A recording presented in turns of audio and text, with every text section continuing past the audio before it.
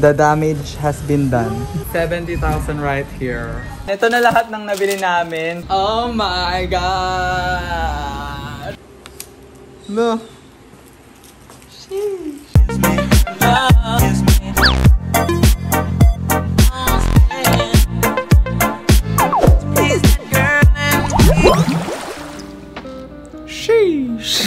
hey guys, it's me Cedric. So welcome back to my Ding Ding Ding channel. So ayan, for today's video, ipapakita ko sa inyo ang aking latest na PC build. So ayan, may Shopee. Hey you, subscribe. Ang di mag-subscribe, di masarap ulam. If you guys don't know, recently nag-upgrade ako ng aking PC kasi medyo nahihirapan na yung luma akong PC sa pag-edit ko kasi since I film on 4K na, I had to upgrade. Sabi ko, it's time habang hindi pa masyado nagmamahal yung PC parts ulit. In this video, makikita nyo yung shopping experience ko, yung pagbuo ko kasi binuo ko siya from different stores. Naghanap talaga ako ng mga stores kung saan ako makakamura. So, here's the end result. As you can see, it's orange. Ayan siya. Alam niyo naman, love na love ko yung orange yellow. So, ayan na siya. Hi everyone! Andito kami ngayon sa PC Logic sa Angeles. Hi! Bili kami PC.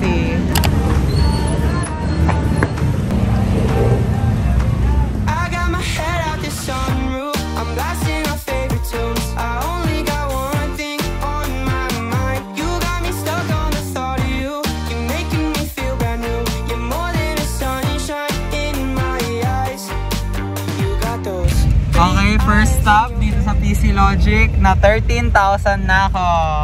Yay! Maliit. Ayan o. Hi guys. Ah, maliit. Medyo rare yung case na gusto ko. Kaya wala siya dito. Ma-order ko lang siya online. Grabe na 13,000 na. Let's go to PC config. So ayan, mag-shoutout muna tayo sa mga comments sa last video. So shoutout kay Abigail, Mark John, Edward, Elise, Otin G, Sabay Sabay! Benedict, Nathan James, Justin, Robbie, Harvey, Jevy, JP, Christine May, Kathleen, Rayward, Lian, Cyron, Jebesimal, Russ, John Godwin, Pure More Chance, JC, Jeffy TV, Kriston, and lastly kay Paul. So ayan, kung gusto niyo ma-shoutout sa next video, mag-comment na kayo down below ng computer. So ayan, gusto niyo ma-shoutout, mag-comment na kayo. And yeah, back to the video. Okay po, ayan na. The damage has been done at PC configure.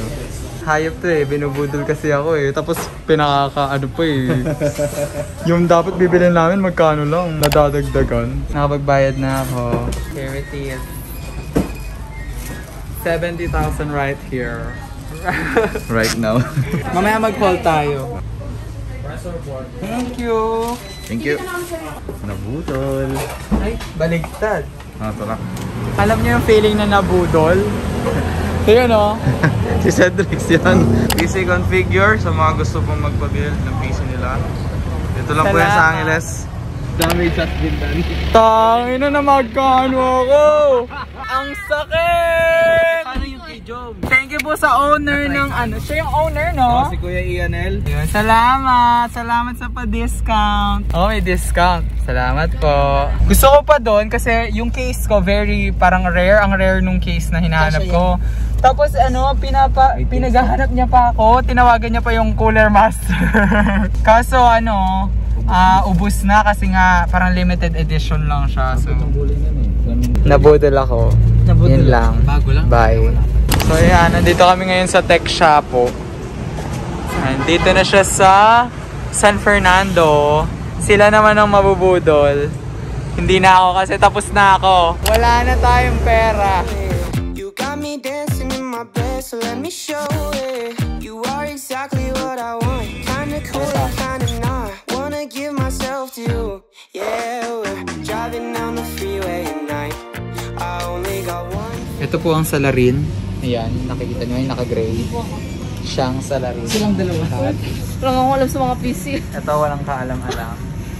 Ganda lang. Ganda lang ang bag niya. Ito yung nabudol recently. And may ano? Saka ito. Magsisedi pay later daw sila. Yes. Steady pay later. Okay, 5-6 na ako. Hindi, hindi 5-6. Steady pay. Steady pay later. Feeling like this might be my time to shine with you, this Baligtad. Me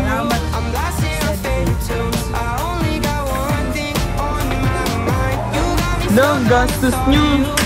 Oh! Oh! Gastos nyo. Ako pala nagbayad ng lahat. Steady pay later. Ano ngayon? 20? Alam nyo guys, nakakagutom ang gumastos. Kaya nandito kami ngayon sa ano, Gulf Shawarma. Kasi yung here dito sa San Fernando, sarado pa. Okay lang kahit fake here. At least. Amogas. Close enough.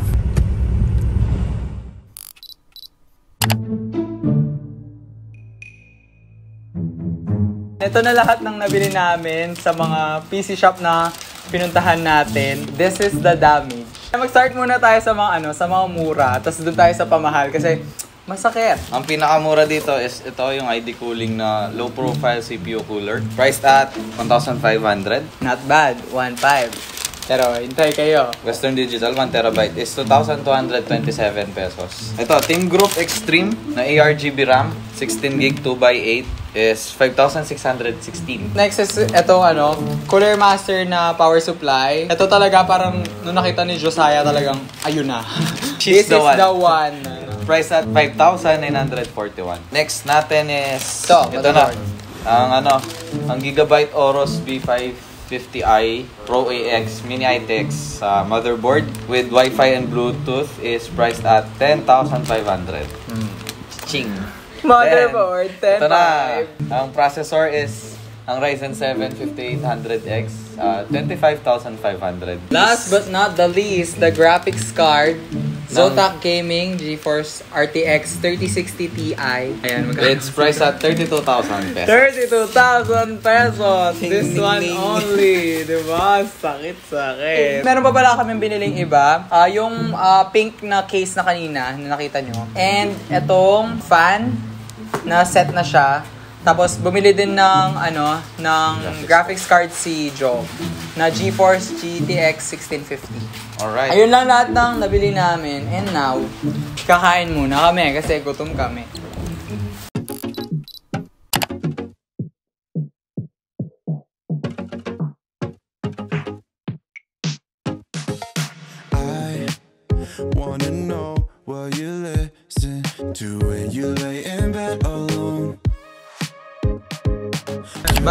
Josiah! Thank you so much. Pakisabi din kay ano, kay Toad. Thank you. Guys, yung hinihintay nating case ng aking PC dumating na. Oh my gosh! Ang ganda niya guys! It's orange! Sobrang tingkad ng pagka-orange na. I like it so much. So ayan, ito yung ipapalipat natin kay Josiah. Dito natin ipapalipat yung PC setup ko. And ayun, pupuntahan nga natin si Josiah later para mapalitan niya na yung case ko dito. I'm so excited. Ayan, puntahan na natin si Josiah. Let's go! So, ayan na. Ito na ang case. Lilipat na namin from the old case to the new case. Pero ayan yung binili na. Dumaan kami tech shop po ulit. Bumili akong fan, tapos bumili siya ng controller. Takbuhan ng bayan. Pogi, oh. Ganda ng pagkaka-orange. May love ako dito kaya ako nag-upgrade.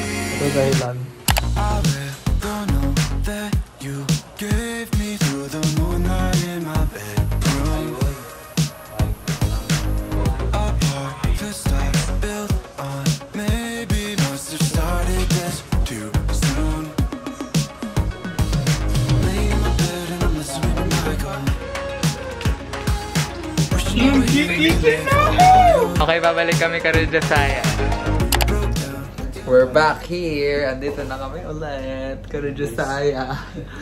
Part 5. My God. Part 1,560. Ayoko na. Re-refund ko na. We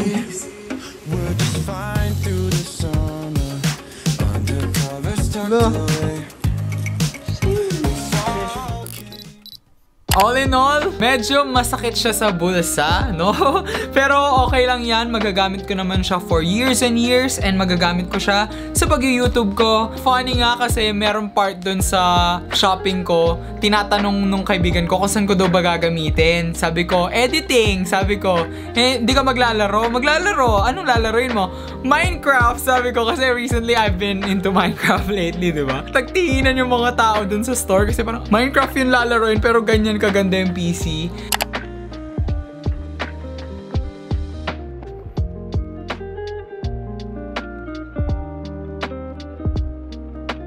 My case is from Cooler Master NR200P ata yung ano niya. Yung limited edition na kulay orange yung kinuha ko kasi alam nyo naman, na in love talaga ako sa case na yan kaya yan yung binili ko. Tapos yung aking mga fans is from Techwear. I think Techwear yung aking fans. Ayun o, parang cute para may lava sa ilalim. Kaya gustong gusto ko siya. That's all for the PC setup and grabe, damang-dama ko yung bilis, damang-dama ko yung upgrade from my previous PC. So, you guys might be wondering, Kuya, ba't di ka na lang nag-laptop? Ba't di ka na lang bumili ng MacBook na bago? Kasi para sa workflow ko, iba talaga yung PC eh. Kasi bala ko talaga mag-laptop before. Una sa lahat, ang mahal ng laptop for what it is, yung binabayaran mo kasi sa laptop yung portability niya, yung nadadala-dala mo anywhere. I want kasi yung work ko and everything is in one place lang para it's just a mind thing. Yun, mas maganda yung PC na mabubuo mo for that price. Yung 4K videos, grabe, 4 minutes render time. Nashock ako dating 30 minutes to an hour yung render time ko. Ngayon, 4 minutes. As in 4. Ginaganahan ako mag-edit. Tapos yung playback, yung kapag play mo yung sa editor, sa mga nag-edit dyan, hindi siya naglalag kahit 4K siya, dire-diretso yung playback kahit full, ano siya, full resolution. I just want to give a shout out sa mga friends ko kay Josiah tsaka kay Ajom, ayan, for helping me with this build. Medyo stressful yung build na to kasi unang-una yung case ang hirap hanapin, yung ibang parts ang hirap hanapin, tas balik-balik ako,